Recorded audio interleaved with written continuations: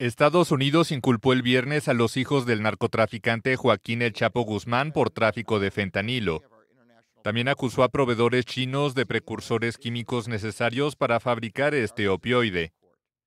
El Departamento de Justicia está anunciando importantes acciones contra la mayor, la más violenta y más prolífica operación de tráfico de fentanilo del mundo. Esa operación es dirigida por el cártel de Sinaloa y alimentada por compañías químicas y farmacéuticas chinas de precursores.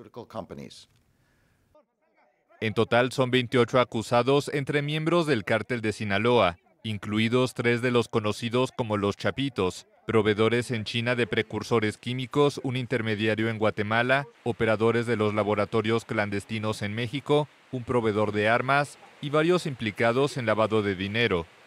La agencia antidrogas estadounidense DEA indicó que siete miembros de la red ya fueron detenidos en Colombia, Grecia, Guatemala y Estados Unidos. El Departamento de Justicia ataca todos los aspectos de las operaciones del cártel. Estados Unidos enfrenta una crisis de opioides de efectos devastadores.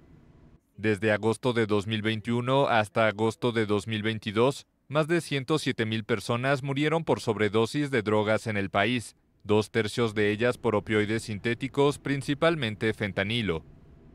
Entre 2019 y 2021, las sobredosis letales aumentaron en aproximadamente un 94% en el país, donde unos 196 estadounidenses mueren cada día por intoxicación de fentanilo.